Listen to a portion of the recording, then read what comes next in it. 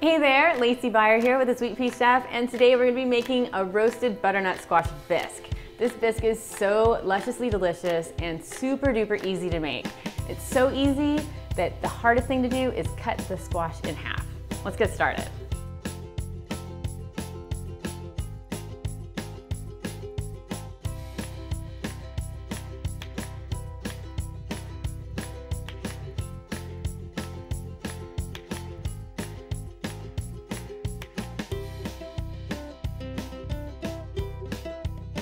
All right, let's get started by preheating the oven to 350 degrees. Let's talk about butternut squash. If you've never picked it out at the store, you're gonna wanna pick out one that has a nice even color to it and that there aren't any soft spots. And what we're gonna wanna do is we're gonna actually lay it flat onto a cutting board and we're going to slice it in half, but they're kind of tricky to slice in half. So you're gonna wanna start in the middle of one using a sharp knife and slice that end in the half. And then you're gonna wanna flip it on over and do the exact same thing.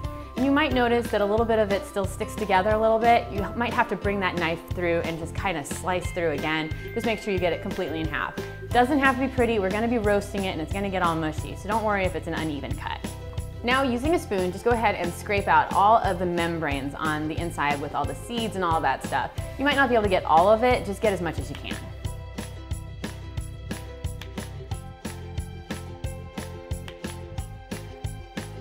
Now grab a baking sheet that has rims on it because when the butternut squash roasts, it's gonna release a lot of liquid and we don't want that getting everywhere.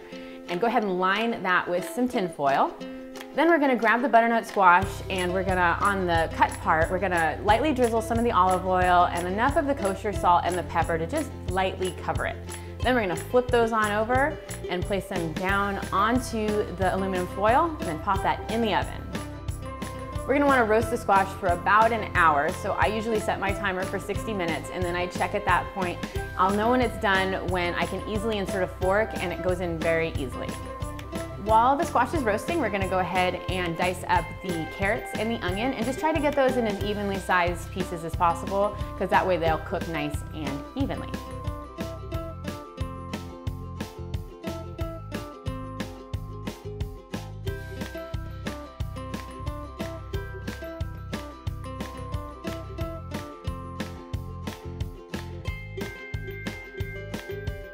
Now for this next step, I'm gonna use a Dutch oven, but you can also use a deep stock pot, either one will work.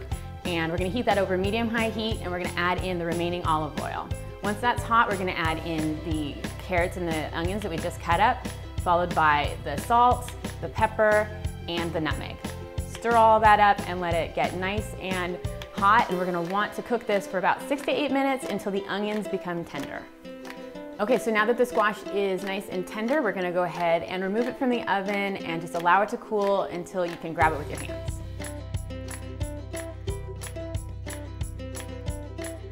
Now we want to remove the squash flesh from the skin. So go ahead and just use a spoon and scrape the inside of the flesh so we get all of that out. And you're going to discard all of the skin. We don't want that, it's going to be kind of papery and you'll be able to feel the difference. Once you have all that together, go ahead and add that into the pot with the onions and the carrots.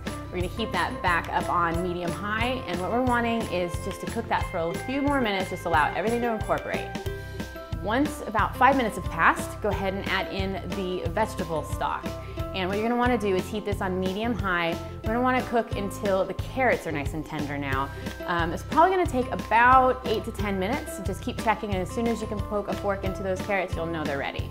Now it's time to blend all of this stuff together and you could either use an immersion blender or just a regular kitchen blender or even a food processor, anything you want to do and all we're wanting is to make sure that the texture of everything is going to be nice and pureed. Um, I'm going to use my immersion blender because I find that the easiest to use. I don't have to dirty anything else and I'll just get it all nice and blended. So now that it's smooth, go ahead and grab the heavy cream that is gonna make it a nice bisque texture. However, we do have a vegan bisque at this point, so if you wanted to keep it vegan, you just wouldn't add the heavy cream and instead you could substitute some almond milk. Make sure it's unflavored almond milk though. Add that in and stir it together. Okay, so at this point, just check to see if you need any additional salt or pepper. Otherwise, it's ready to serve. And I love to have a little bit of a drizzle of the heavy cream on top with a little bit of sprinkling of the nutmeg. I think it adds a delicious flavor to this bisque. so there you have it, a delicious roasted butternut squash bisque. I hope you love it as much as I do. If you're looking to print out the recipe, get the link below. And as always, subscribe to the YouTube channel to never miss a new recipe video. I'll see you next time. And about right. I had no answer for that. Like the, no, dang it, I'm just sitting all as is and, and All right, let's talk about butternut squash, shall we?